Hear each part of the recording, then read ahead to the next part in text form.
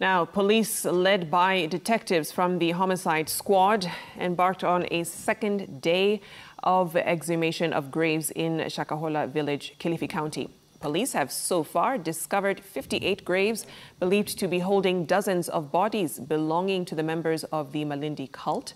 The seven bodies were exhumed yesterday from four of the 58 shallow graves.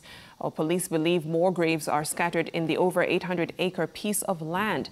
Police have managed to rescue several cult members who were in the process of starving to death as per Pastor Paul Mackenzie's teachings at the Good News International Church.